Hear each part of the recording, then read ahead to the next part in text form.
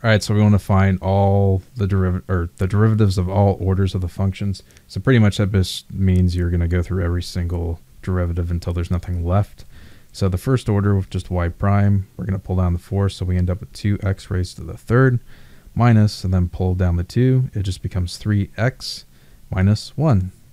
y double prime is going to be equal to, pull down the 3, 3 times 2, 6, x raised to the second minus 3 because you pull down the 1, there's nothing left for x. And then the derivative of 1 is just nothing. y double prime, or y triple prime is 12x.